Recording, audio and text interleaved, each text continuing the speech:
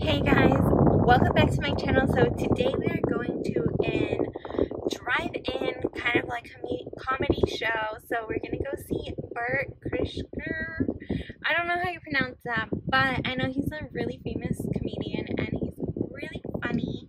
And we're gonna go see him. He is gonna be show. His show starts at seven, and it's like 5.30 we're picking up a bunch of food so we got burritos and now I'm picking up some Thai food. So we have food for the show and the show starts at 7 and I'm just gonna go get gas and then we're gonna go and um, we brought chairs. I don't know if we are gonna sit in our car or like sit in the chairs and have like a fuzzy jacket because I know it's gonna be cold.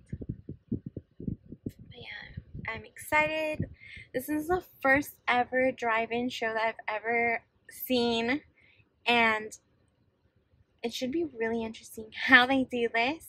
I think you listen with your radio so they said to bring chairs but I'm like how would you listen? Well I guess you could put it really really loud or like I know the guy's there and he does like the concert on the stage and hopefully we have really good seats so we're going pretty early and it's been sold out for the past three days and today is last day on Sunday. And yeah let's see how this goes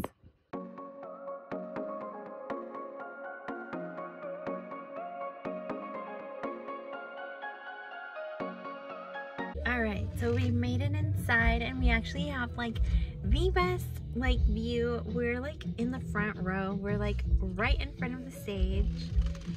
And yeah, I just had some Thai food. Even though it kind of didn't taste like Thai food, kind of tastes like um chow mein. We're literally out here in the front and we're probably gonna get out because my window's so dirty. And we have like the chairs you can sit outside with and then I brought a thick jacket so we'll stay nice and warm and this should be really really funny and unfortunately I can't tape any of it